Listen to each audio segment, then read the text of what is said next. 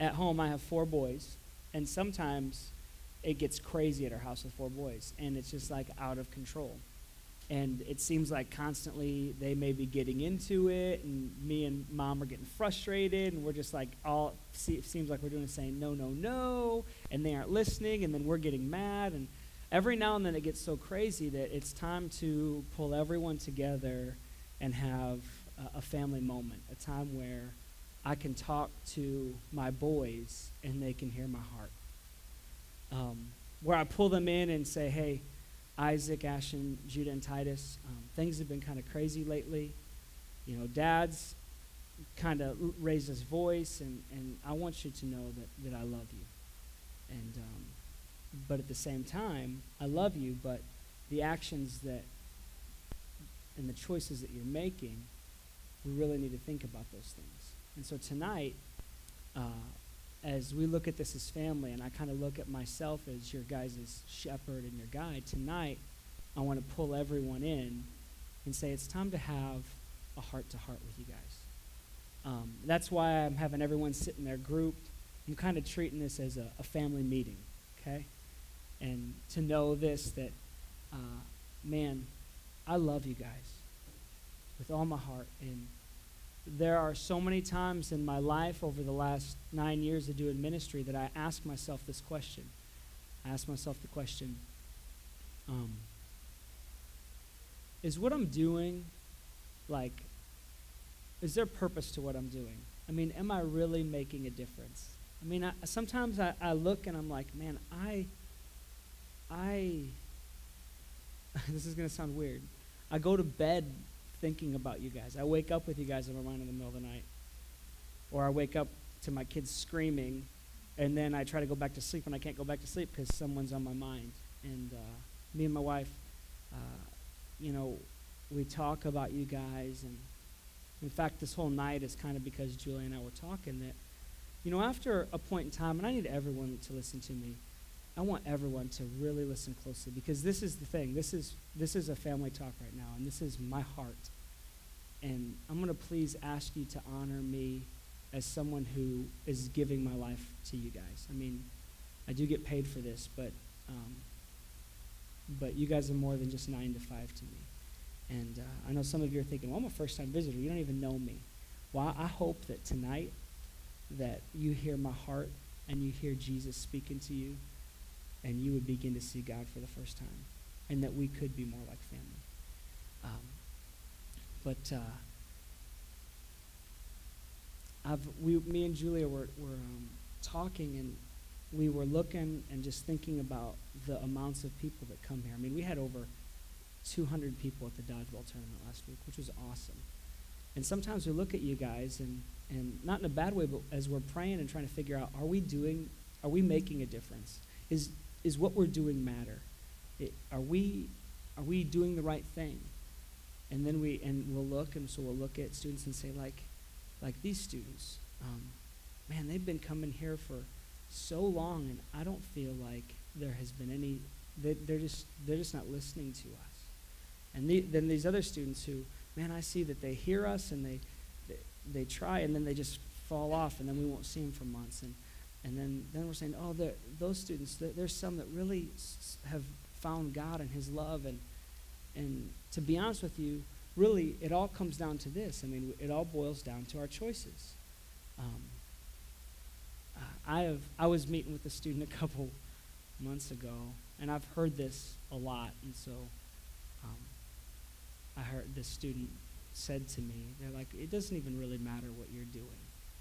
You know, it, it's just pointless and he and this person wasn't just talking about for him. He was talking about just in general.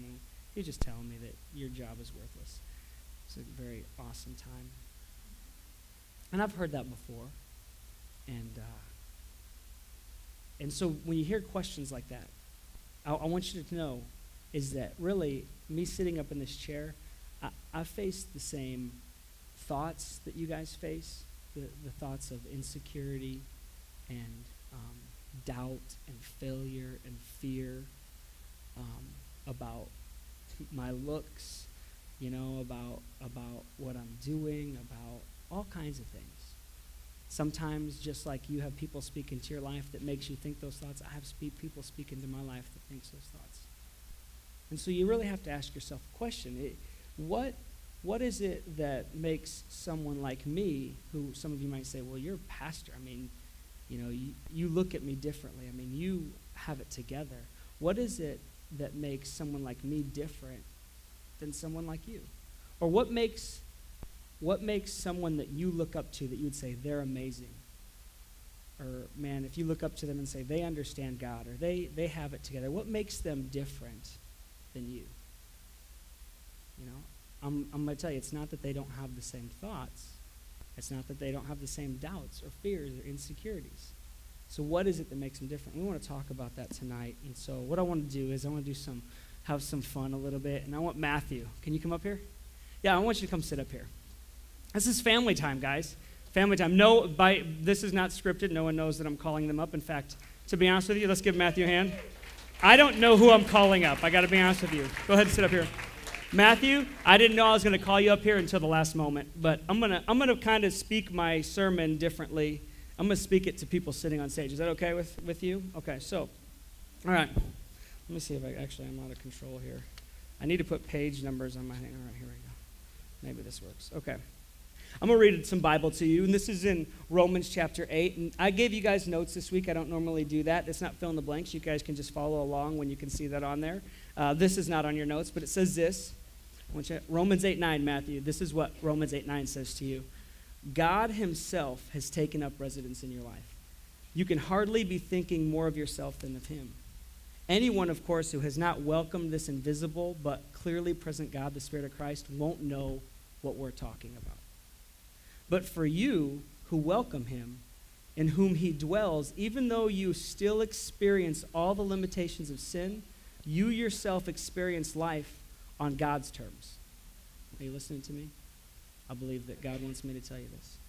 It stands to reason, doesn't it, that if the alive and present God who raised Jesus from the dead moves into your life, that he'll do the same thing in you that he did in Jesus which was bring you alive to himself. When God lives and breathes in you, and he does, as surely as he did in Jesus, you are delivered from that dead life that you used to live. With his spirit living in you, your body will be as alive as Christ's. Okay, that, that scripture right there, I want you to understand. For those who, of you who have asked Jesus into your hearts, this is who you are. That you have Jesus living inside of you, and the same life that lived inside of Jesus is the life that lives inside of you. For those of you who have not, it's kind of actually talking about you. It says that it says, of course, who is not, uh, if, if, you, if you don't, then you aren't going to know what we're talking about. And it's my hope if you don't know Jesus tonight, that you begin to know what we're talking about. And so, really, this is what I'm saying. Christians, Matthew, we have a new heart and a new spirit, but we will struggle with many of the unhelpful ways of thinking and behaving that we grew up with. See, when you come to Jesus, uh, um, man, you become spiritually alive, but you still have all of this life that you used to live before you knew Jesus. Um, this is what the Bible calls the flesh. Okay, that's a weird word. So I want to talk about the flesh tonight. I want you to begin to understand the flesh. Um, we don't have to give into the flesh anymore. That's what this verse is saying. We can choose day by day and moment by moment whether to live according to flesh's desires or according to the promptings of the Holy Spirit. And as you, as someone who has ha- asked Jesus into your heart, you don't no longer have to live by the flesh. And so I'm going to explain what the flesh is because that's a really weird word tonight. Um, and sometimes it's like this: when we become Christians, um, we think it's like flicking on a switch. I mean, that's how people explain it, right? everything's different. We think that everything's supposed to be different, right? It's like flipping on a switch. Uh, immediately, we think that we should automatically do everything right. But I don't know about you. For those of you who have asked Jesus into your heart, was it like that? Some of you, yes. Some of you, man, everything completely changed. For some of you, it wasn't like flicking on a switch, and, and you still have, uh, you discovered that that's just not the case. It's not like flicking on a switch. We often don't feel uh, different at all when we become a Christian sometimes. Um, we still have the same bad habits. We still have the same temptations. In fact, when we become Christians, it seems like the things that we were tempted to do wrong, the temptations get bigger. Have you ever noticed that? Man, you give your life to Jesus, or you have this moment where you say, I'm sorry for what I'm doing, and I, am moving on. Uh, forgive me, God. I'm never doing that again. And then when you walk away, it's not just that you have the temptation again, it's that the temptation gets stronger. Have you ever noticed that? That's, that's, that's something that we face. And so I want you, I want, we're going to think about two questions right now. Are you ready for these two questions? What changes when we become Christians? And what doesn't change when we become Christians?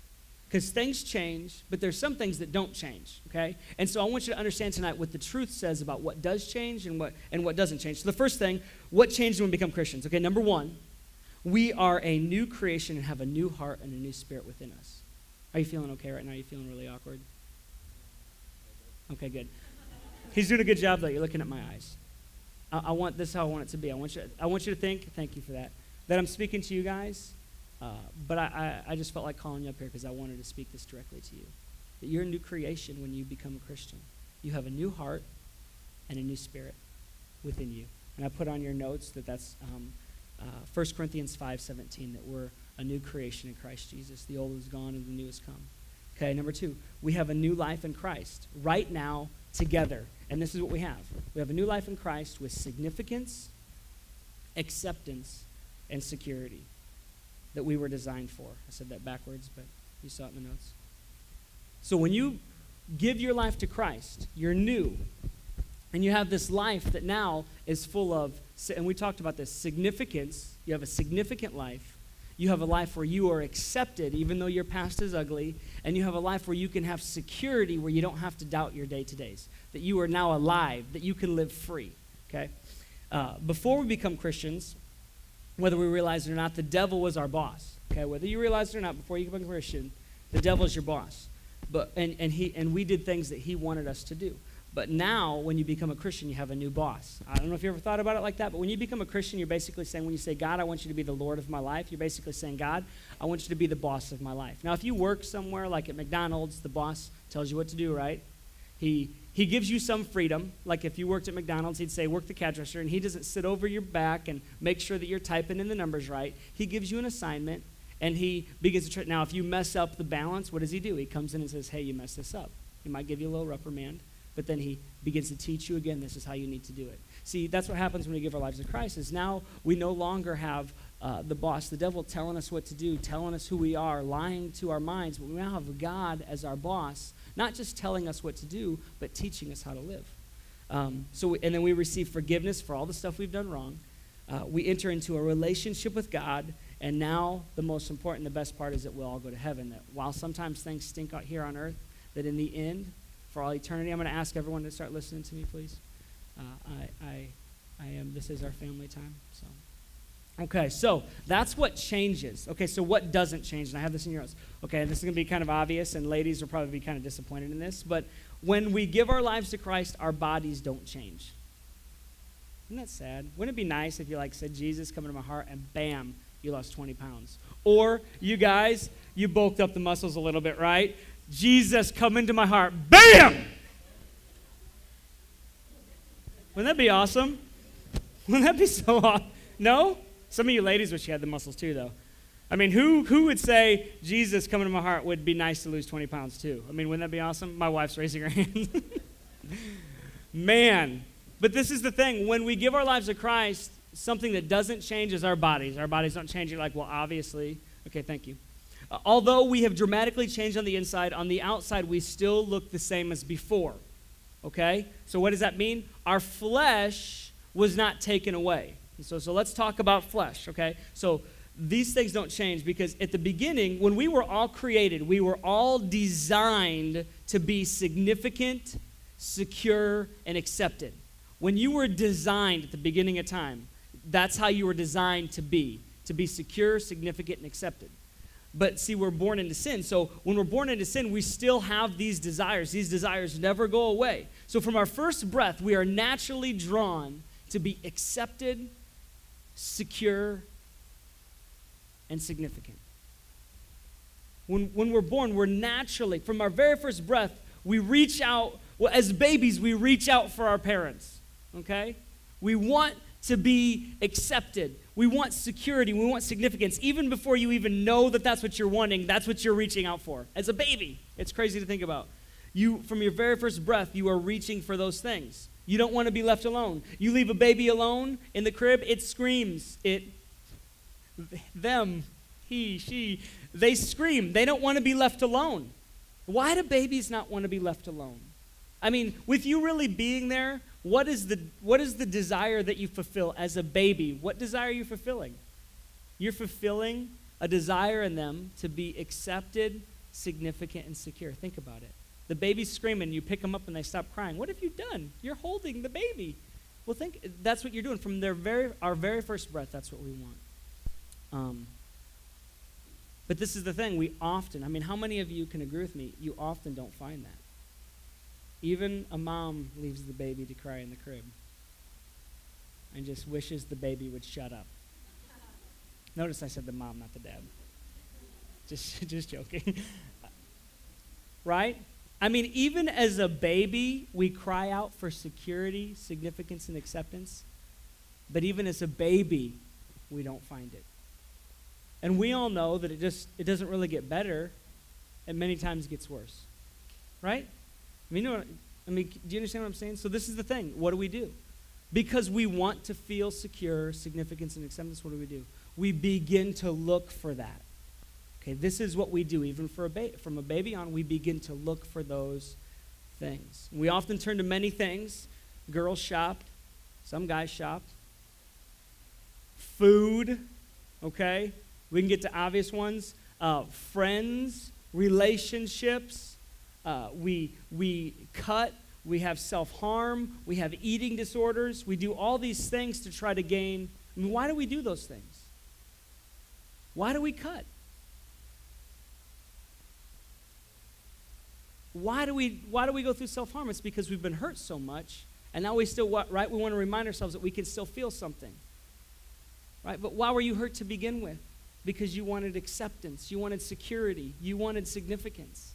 It all stems back to that's where all of these things that we uh, do stem back from us looking to be fulfilled in those ways. So eventually what happens is before we're christians we do things like this, and these become our ways of coping, right? Self harm, eating disorders, just eating.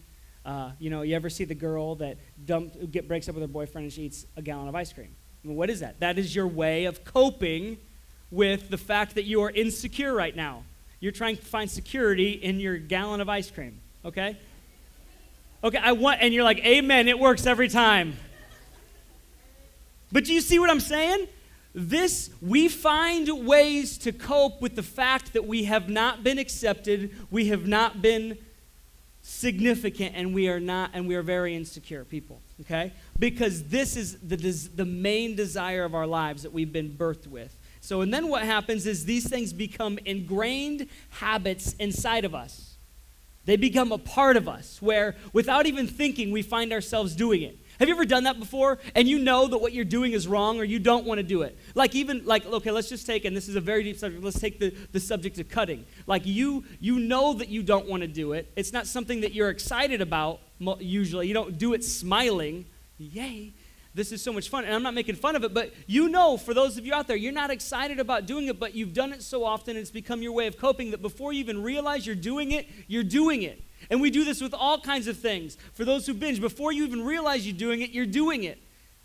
Before you even realize you're doing many of these things, you're doing these things because they have become ingrained habits inside of you. Right? Um, and so then what happens is, uh, and this is what the Bible means when it refers to our flesh. Okay? When the Bible refers to your flesh, it's talking about these ingrained habits that are a part of you before you know Christ. Okay, when you become a Christian, unfortunately, wouldn't it be awesome? What, what's that that that uh, that Office Max commercial that has the big red button? It's like the easy button. Staples, the red store. It's like all the stores are red. Okay, I don't know why. What's that all about? They can all be red, but they got that big button, the easy button. For some reason, when you become a Christian, it would be nice if there was this big fat red button that said reset you know, and you just hit it and reset everything and forgot every way you used to be and you started completely over. See, because when you become a Christian, you start over with a new heart and a new spirit, but you still have ingrained inside of you the old habits. Okay, so follow me. Are you following me so far? You feeling awkward yet? Is it time to get someone else to come up here? I think it is. You can go ahead and sit down. Let's give Matthew a hand. Matthew, we love you.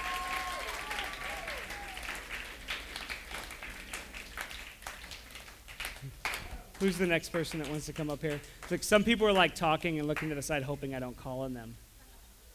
Oh, some people are looking directly at me, hoping I do call on them. All right, Josiah raising his hand. All right, I need um, who did I see that I wanted to bring up here? I need Lexi up here. Lexi, you want to come up here? Come on up, Lexi. Again, I don't know who I'm calling up. It's just whoever I feel like calling up. So you got to believe that, that God wants to speak something inside of you. Okay. Thank you, Lexi. How you doing? Thanks for coming to our family time. It's not a talk show, it's family time. If I was sitting down with Isaac, I would talk like this. I'd be like, How you doing, Isaac? See, I want to tell you tonight, Lexi. Okay, you ready for this? That you are incredibly beautiful. No, really. That God loves you. Okay? And it's not just about who you are on the outside, but you have an incredibly tender spirit and heart, and He wants to use that. Okay?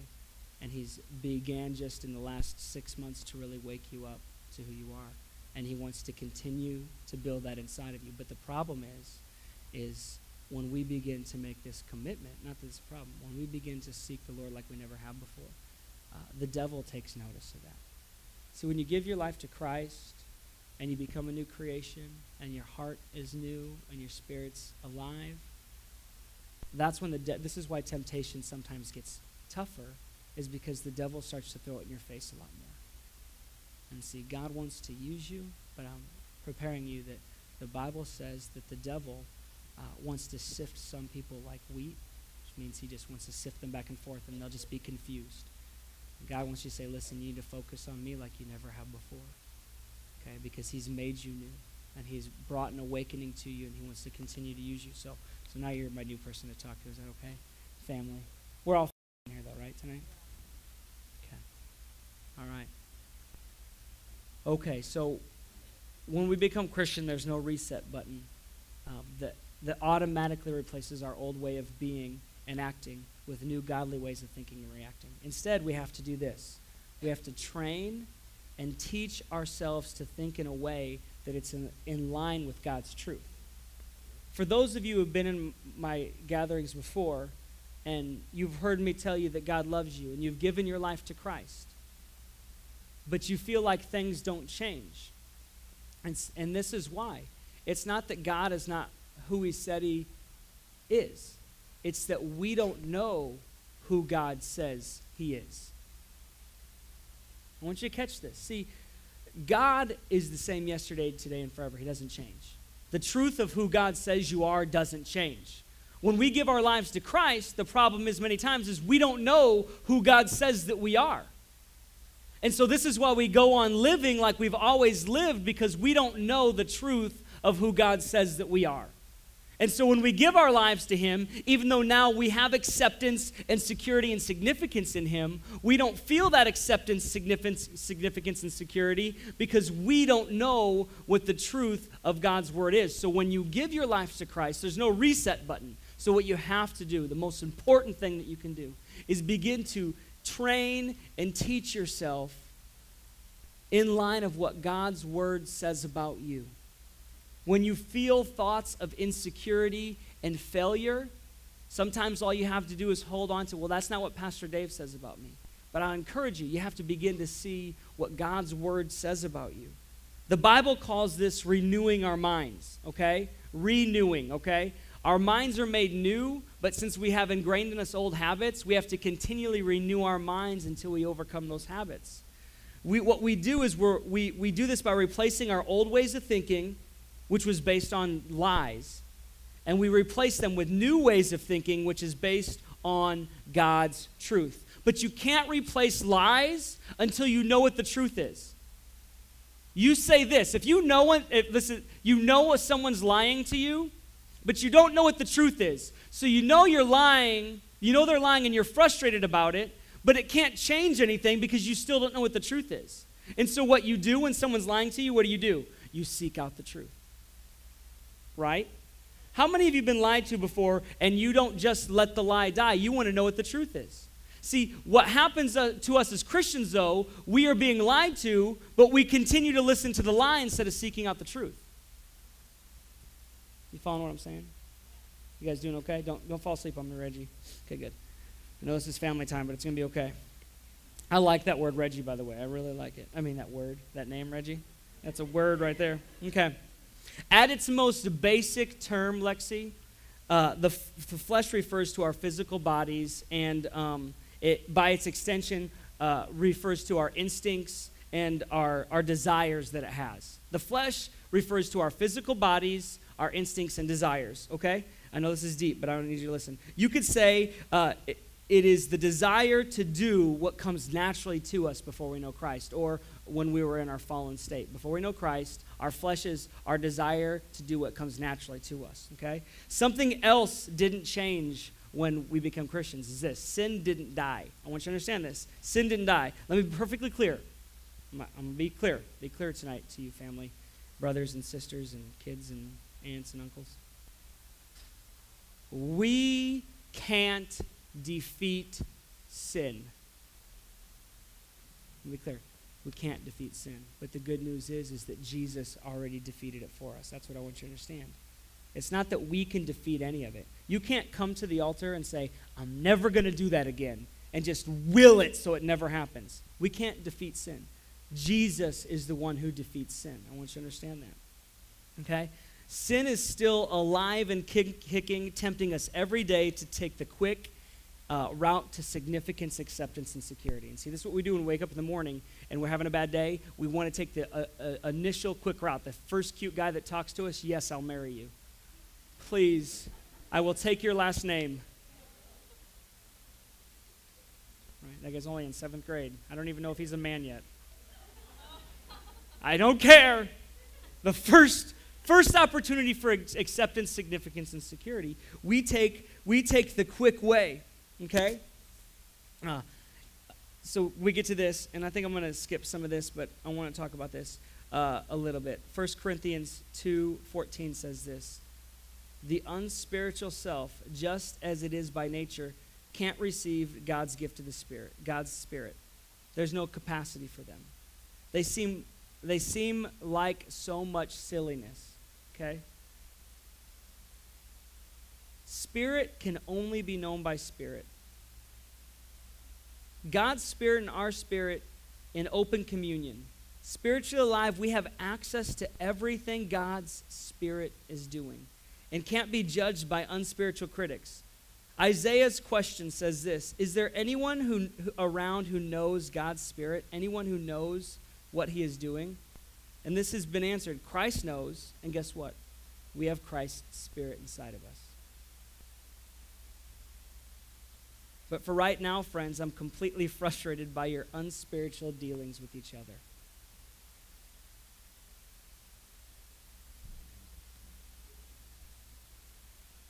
Family time. I'm completely frustrated by your unspiritual dealings with each other and with God. You're acting like infants in relations to Christ, capable of nothing much more than nursing at the breast. What is that saying? We act like babies. Well, then, I'll nurse you since you don't seem capable of anything more. This is the Bible. Isn't that awesome? Was it the Bible? So I'm going to go ahead and nurse you guys, all right? Is that weird? That sound awkward? As long as you grab what makes you feel good or makes you look important, are you really much different than a babe at the breast? It's the Bible content only when everything's going your way. So often, right now, we do, we grab what's immediately in front of us and we never grow because of it. All right? As a baby, it's hard to learn to walk. It's not easy. They fall a lot. And that's what we do as Christians. We're ba- basically spiritual babies. and we need to be taught to walk. But so many of us never want to be taught to walk. We don't take the opportunity. We keep going back to the breast. That's what the Bible says. Did you hear that on TV out there? We keep going back to the breast.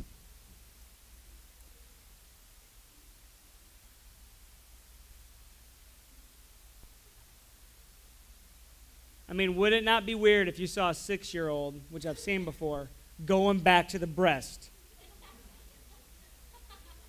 Is that not weird? A 13 year old, Mom, I'm hungry. Give me something to drink.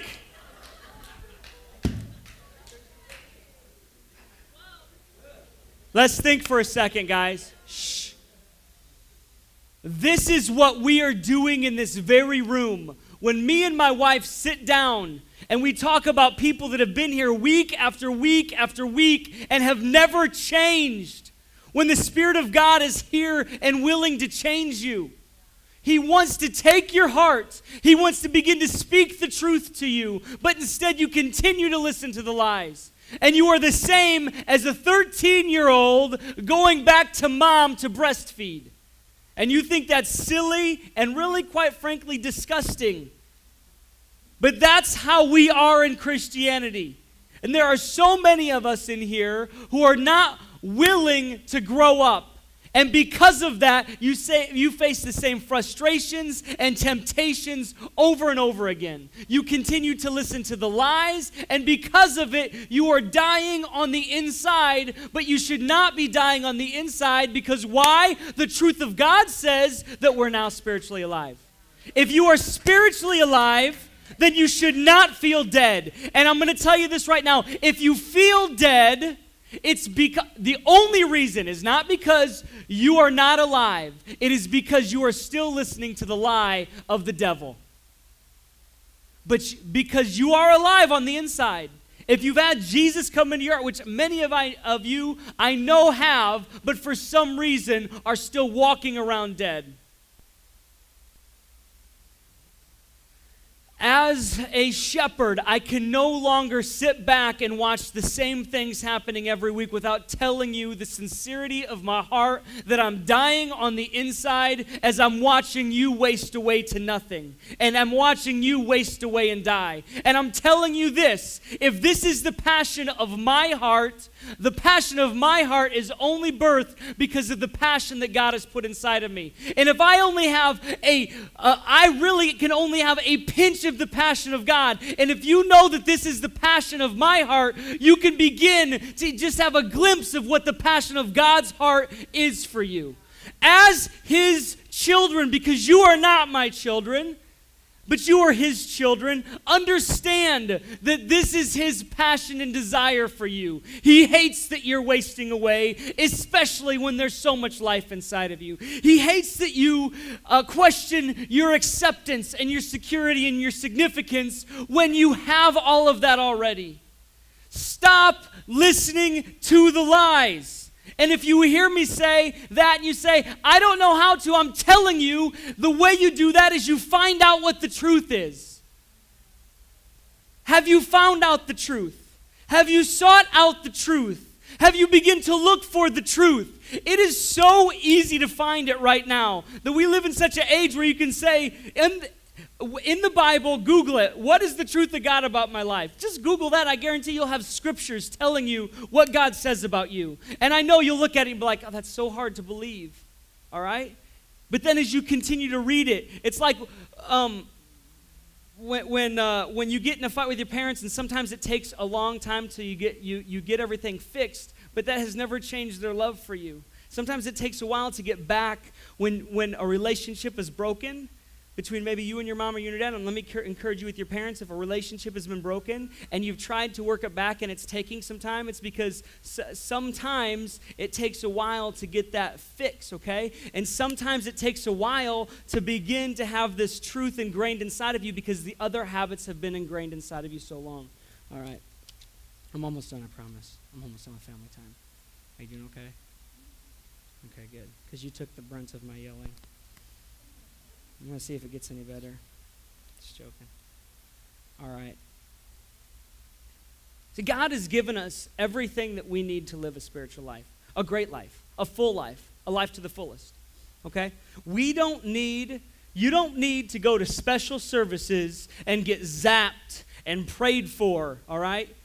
I'm telling you, you don't need that. Okay? It's nice when that happens. You don't need to pray the right prayer. If I could just pray the right prayer, or if I could just find the right person who knows God enough, or if I could just find this person, or read, or do this, or do that. No, because this is the thing. When you give your life to Christ, you already have this. It's not about a special prayer, being zapped, or all this whatever stuff you'd like to say. If I could just have this person lay hands on me, all those things are nice, and all those things are good, and all those things are awesome. But what you need to know is you already have all of that. In 2 Peter 1 3, it says, Everything that we have to live a life to the fullest, a godly life, has already been given to us when we came into relationship with Jesus Christ. And it says that we receive these things as we get to know Him better. See, it's like all this stuff is inside of us, right? And as we get to know Jesus, it starts to get unlocked. See who you are, what He's called you to do. It just doesn't all come flooding in in one moment and then everything's perfect. What happens is, as you get to know Jesus, you get you see Him a little bit more, and more of Him is revealed to you, and you begin to understand His truth. This is why I wasn't me and who I am right now 10 years ago. I wasn't me like this a year ago. So much has already changed inside of me just over the last year as I begin to pursue Him more. All right? We're, we're coming down here to the to the, long, the, the end stretch here. Okay, I'm gonna I skip I, I'm skipping some stuff, but this is the thing. What we what we need to do is to learn how to deal with the things that stop us from receiving true significance, acceptance, and security, and the things that stop us from growing, that's that keep us babies, that keep us going back to the breast. All right, we need to learn what is stopping us from growing? Why are we not growing? I mean, how come if at moments in time, right? Right? Where you have seen God's love and you've accepted him as your savior. How come at those moments you've seen him, but for some reason you seem like you've gone backwards instead of forwards? Or you're still the same as you were six weeks ago or six months ago? How come it's no different? You have to figure out what's keeping you from growing because you should be growing. Babies don't stop growing.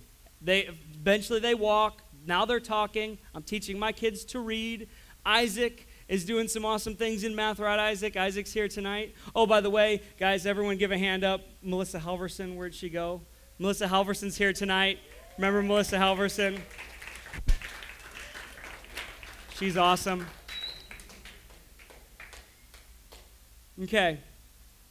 So there's th- there's real quick three things that keep us from growing so much. Number 1 is ignorance. Many times this is the thing. It says in the word of God some people say, well, if I don't know, then it doesn't matter. But the, the Bible says, my people perish uh, due to their lack of understanding or their lack of wisdom. Ignorance, he says, my people perish because of ignorance, basically. Ignorance is one of the many things that keep, uh, keeps us from growing. Many times we have not been told the truth of who we are in Christ. Maybe you've spent your whole life being told what to do in church instead of being told who you are in church. Many times, maybe even I myself has just told you what to do, but haven't told you who you are. This is why you need to find out not, not how to live as a Christian, but find who you are in Christ. And that will teach you everything you need to know. Who are you in Christ? Who are you in Christ? All right. Okay, number two, uh, deception. And this, and, and you can hear deception if you're being deceived. See, the hard thing about being deceived is if you're being deceived, you don't know you're being deceived because you're being deceived. Okay? So for you to tell me, well, I'm just not being deceived. Well, I mean, well, let's think about it for a second because if you are being deceived, you're going to say that. Okay? Chances are no one's going to say they're being deceived, whether they're being deceived or not, because you either don't know and you are, or you don't know and you aren't. Okay? That's what, how deception works. You don't know you're being deceived. Okay? You don't know the power of the dark side. All right? You don't understand the droids are this way, or you don't want to seek those uh, C3PO and that dude that's gold, all right? However, however they say it, those dudes, those stormtroopers didn't know they were being deceived, but they were being deceived, right? That's how deception works. You might be deceived if you say things like this This might work for others, but my case is different and it won't work for me. Have you ever said that? You're being deceived. All right, maybe you say this I can never have faith like so and so. I mean, they're different than me. I could never be like that. You're being deceived. It's available to you because the same Jesus that lives inside of them lives inside of you. All right. Third thing you might say God could never use me. God could never use me. You know, the biggest people that God used in the Bible were the biggest sinners. David, one of the most famous men, was checking out naked women on a roof, slept with her, got her pregnant, killed her husband. I'm just saying. Okay, that's the long and short, simple story of David. Okay? He did some other awesome things too. But do you understand? Awesome, awesome things. Do you understand that God could never use me thing is an excuse because God continually showed over and over again that He would use anybody. Okay? And, and every situation is different. Do you know that God in the Bible, in this little book of Hosea, that He once had a guy marry a prostitute? Then that prostitute left that dude, and then he said, he told the dude, I want you to go back and I want you to get your wife back. And he's like, I can't get my wife back. She's a prostitute. He's like, I want you to go and I want you to buy her back. And he had to go buy his own wife back. That's a weird story. Listen, this God can never use me is a deception from the devil. And if you've said these words, God can never use me because of whatever, whatever, your excuse doesn't matter, but just have ever said, God can never use me, I'm telling you right now, you're being deceived. Okay? Simple. Okay. Third thing, last thing unresolved personal and spiritual conflicts, and this is my favorite one. We often think that we have the right to be upset and angry with someone, but did you know that actually stops us from growing? Example, if you have never truly forgiven someone who hurt you, you are actually leaving a big door open for the devil to come in and confuse your thinking and stop you from connecting with the truth. Do you know the Bible says that as much as you forgive someone else, you yourself will be forgiven by your Father? See, if you are if you hold on to unforgiveness, you yourself cannot receive the truth. See, when you are unforgiving, it leaves a door open for the devil to confuse you. You see what I'm saying? And so a lot of times we have this unresolved personal and spiritual conflicts that keep us from going. If you don't close the door by doing what God tells you to do, which is forgiving that person, you are unlikely to grow as a Christian. Once we have decided to believe the truth no matter how we feel and have dealt with our unresolved spiritual conflict, we are truly free to make a choice every day to obey your flesh or to obey your spirit. Sorry. And again, I'm going to go, I'm going to end with this. You can go ahead and have a seat. Let's give Lexi a hand.